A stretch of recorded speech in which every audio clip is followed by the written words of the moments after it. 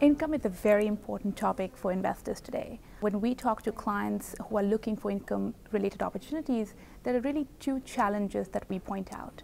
First of all, if you look at what's happened following the financial crisis, unprecedented monetary policy actions have led to interest rates coming down from previous levels to historically low levels today. And so the challenge for savers is really that the traditional sources of high quality income, such as government bonds or annuities, no longer offer as much value. Second, investors are being forced to take more and more levels of risk to generate a consistent level of income. So they're being pushed out into asset classes that are higher yielding, such as high yield or emerging markets, or in some cases, equities. Now, the risk here becomes that in periods of market stress, market sell offs, such strategies can lead to severe capital losses for clients.